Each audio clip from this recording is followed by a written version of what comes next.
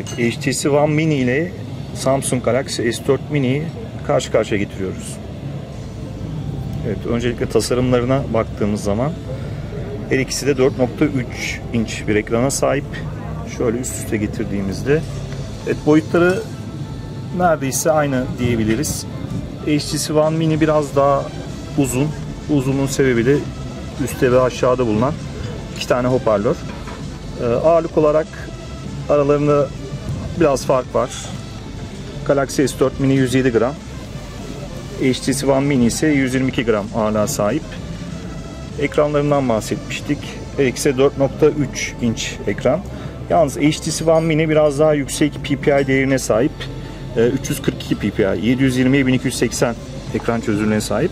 Galaxy S4 Mini ise 256 ppi, 540'a 960 piksel çözünürlüğe sahip. Evet Galaxy S4 Mini gördüğünüz gibi plastik bir kaplamaya sahip.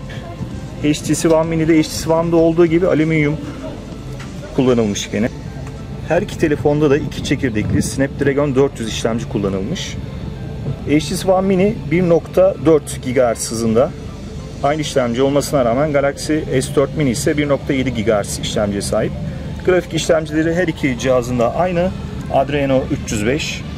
Bataryaları HTC Mini 1800 mAh, Galaxy S4 Mini ise 1900 mAh. Kameralarına bakacak olursak cihazın ana kameralarına ultra piksel kamera var. Bu kamera HTC One'daki kamerayla aynı. Galaxy S4 Mini ise 8 megapiksel bir kamera kullanılmış. Her iki cihazda Android 4.2.2 işletim sistemine sahip. HTC One Mini'de ek olarak neler var? Blink Fit var, HTC One'daki özellik. Boom Sound var, Beats Audio var ve Zoe özelliği var. Şöyle telefonları tekrar yan yana getirelim. 1 GB RAM var. Galaxy S4 Mini'de ise 1.5 GB RAM var. Ee, HTC One Mini'de artırılabilir bir hafıza yok. 16 GB dahili hafızası var. Galaxy S4 Mini'de ise 8 GB bir hafıza mevcut. Fakat bu 64 GB'a kadar artırılabilir. Şu anda Galaxy S4 Mini satışta. HTC One Mini ise önümüzdeki günlerde satışa çıkacak. Fiyat olarak henüz resmi fiyat açıklanmadı ancak Galaxy S4 Mini'nin 1200 TL fiyatı olduğunu düşünecek olursak HTC One Mini de muhtemelen yakın bir benzer bir fiyatta satışa çıkacaktır.